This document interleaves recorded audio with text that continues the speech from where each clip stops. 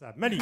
Bonjour à tous, mes hommages, Jean-Luc, mes hommages, mes respects. Scapin peut-être. hein. Ouais, ouais. Alors, tu ne le sais peut-être pas, Jean-Luc, mais Malik suit ta carrière depuis très longtemps.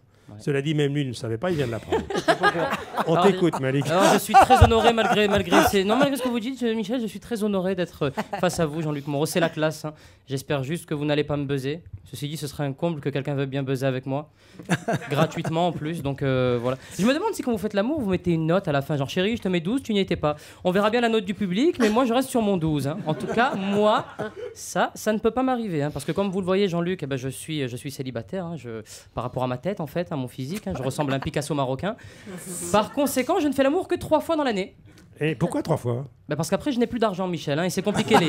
Non, non, non, non, mais les emprunts chez Sofinco, il faut avoir un dossier solide et tout, je te jure. C'est vrai, c'est vrai. Petite anecdote au passage, hein, la dernière fois je faisais l'amour avec une fille, elle me disait dis-moi des trucs sales, dis-moi des trucs sales. Je lui dis bah, la cuisine, le salon, la salle de bain, pourquoi tu, pourquoi tu nous emmerdes Bref, on est là aujourd'hui pour parler de vous, euh, Jean-Luc. hein. Vous avez croisé, vous avez croisé le chemin des plus grands Robert Hir, Jacques Charon, Jean-Claude Brialy, Francis Perrin, Loana Faudel, Cheb Mami. Vous avez également, si vous avez mis en scène Faudel pour, euh, si vous n'êtes pas au courant, mais si moi je suis au courant. Vous avez, oui, vous avez mis en scène des œuvres telles que Don Juan, Les Fourberies de Scapin, on en parlait, Feu la mère de Madame, Boulet Bill et Scooby-Doo, et euh, également, qu'est-ce que vous avez Oui, en gros, vous avez 68 ans, euh, Jean-Luc, c'est bien ça, vous avez passé 67 ans de votre vie à lire. Comment vous faites pour lire autant?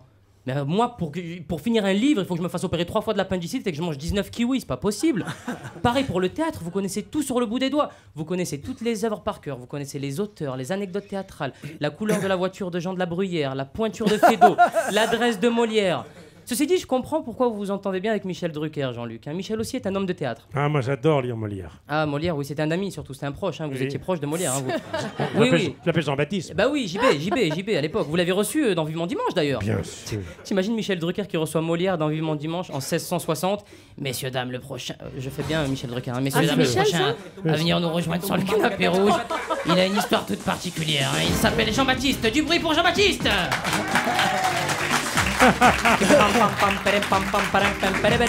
Ouais. Générique de toxicomane, générique de drogué, hein, comme d'habitude. Je veux de la cocaïne. C'est non, c'est c'est n'importe quoi. Ça y est, merci, on peut, merci beaucoup. Vous êtes embrouillé avec Molière, hein, j'ai appris ça malheureusement, Michel. hein, vous vous êtes battu avec lui à Versailles, vous l'avez volé sa perruque. J'avais lu ça sur le blog de Morandini à l'époque. Enfin, en tout cas, Jean-Luc, je suis fan de vous. Je suis un grand fan de théâtre. Par exemple, j'adore Corneille. Ah oui, quelle est votre œuvre préférée de Corneille? Corneille, moi, j'aime bien, j'aime bien ça de Corneille. Ah ouais, Ouais, voilà, hein, c'est. c'est bien. Une parmi tant d'autres. Hein. Mais faut me comprendre aussi, j'étais dans un collège ZEP, zone d'éducation prioritaire. Et faire du théâtre dans un collège ZEP, c'est pas évident. Quand la prof de théâtre demande à l'élève le plus dangereux de l'établissement, balafré, à qui il manque des dents, de résumer une scène, ça peut piquer les yeux. Dis-moi, Kader, peux-tu me résumer la scène 2 de l'acte 3 Bon, en fait, madame, dans le bouquin de Jean-Claude Poquelin, il y a un beau gosse. Et le beau gosse, il s'appelle Bonjuan. Et il kiffe une meuf de ouf, tu vois, madame de. Pompadour, la meuf, c'est. Et Madame de Pompadour, rien qu'elle est sur un cheval, elle est, elle est là, elle se balade avec son cheval, elle tape des marches arrière avec le cheval, des roues arrière avec le cheval, tu vois. Et bon, Juan, il kiffe ça, le cheval, tu vois. Et après, ils tombent amoureux tous les deux. Mais ils tombent amoureux, genre, euh, bien, genre 40 pages au moins d'amour, quoi, tu vois. Amoureux, tac, les pages, elles défilent, voilà, de l'amour, de l'amour. Et après, c'est la fin de la scène, madame. C'est la fin de la scène, madame. Voilà, hein, c'est tout, hein, c'est comme ça. hein.